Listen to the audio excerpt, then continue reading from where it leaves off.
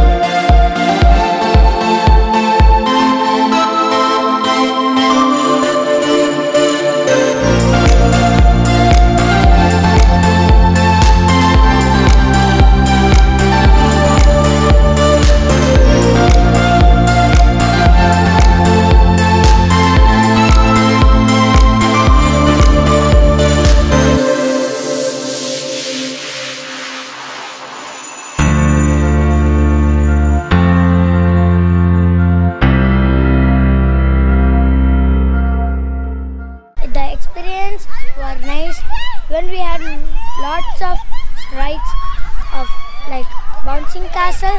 The second one is like helicopter ride, and we ate. We went to boat riding scene. The experience was nice for the day. I